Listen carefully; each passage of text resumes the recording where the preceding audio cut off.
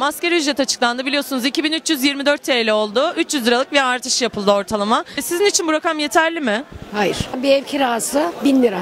İki tane çocuk olduğunu düşün. Ne oldu mu bitti. Benim abim askeri ücretle çalışıyor. Evi kira, elektrik, su, doğalgaz hesaba vurduğun zaman çıkaramıyor.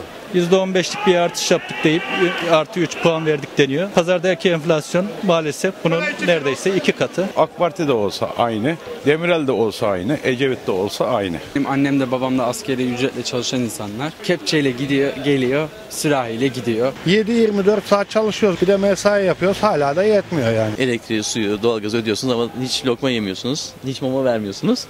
2000 lira, 300, 2300 lira bitiyor zaten. Günlük 10 lira bir zam yapıldı. Sizce bir jest mi? Jest tabii. 10 liraya neler neler alınıyor ki bu devirde. İki ekmek arası parası yani.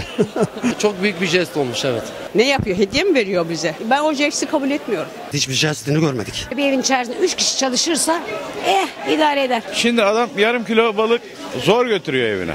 Milletin alımı, giyimi, yemesi, içmesi işte görüyorsun pazarın içindeyiz. 2300 değil de 2700, 3000'e dayanan bir rakam olabilir. 3500'den aşağı olmaması gerekir. Bir vatandaşın rahat rahat geçinebilmesi için yani. Akaryakıta uyguladıkları zam uygulasalardı bize yeterdi. Domatesden patatesden yola çıkalım yani. Bu Kanal İstanbul bilmem ne şeylerine uğraştıkları kadar işçilere uğraşsaylardı daha farklı olurdu. Asker ücreti veren insanlar bir ay değil bir gün bile geçinemezler yani bu parayla. Biz çocuk okuyoruz. En azından Diyanet'in açıkladığı fitre miktarı 2700 lira olması gerekiyordu. 3,5 milyar olması lazım. Her şeyde vatandaşa, her şeyde vatandaşa biniyorlar yani. Valla 2020'de bundan daha iyi geçeceğini hiç zannetmiyorum ben. 2020 yılından ben zamın olmamasını dilerim. Başka bir şey dilemem yani. Bu herkes Allah yardımcısı olsun. Başka diyeceğim bir şey yok.